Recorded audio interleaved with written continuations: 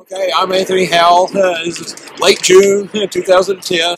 I was first informed of this site by Manny Houghton, and he was concerned that the mining activity or the gravel quarry over here would affect this site. You know, obviously not, unless they get a lot bigger. But anyways, uh, He's local, Manny's local historian. Uh, he has written record of this site of people visiting it since 1880, and it was kind of a tourist thing. You know, people come out to visit Shakespeare, ride the horses out here, and have a look at the strange petroglyphs. Now, uh, Manny has the name of the individual that lived down at the bottom of the hill here, and he's was here from 1850 to 1851. He's from Arkansas. His wife and two kids.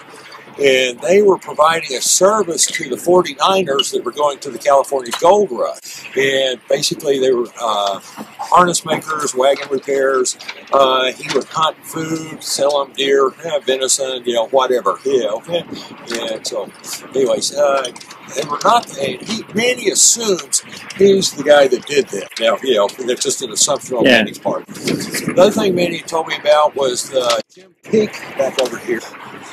That uh, that peak there had three major springs on it, and two of them had some very substantial orchards to it. You wouldn't recognize it today, but you know, anyways, huh?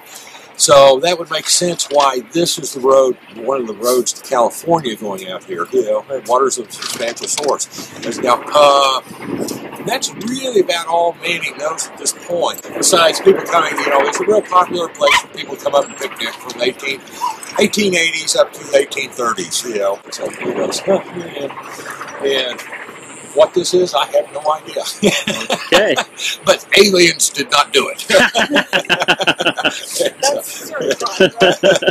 so, yeah. uh, that's some body of my knowledge.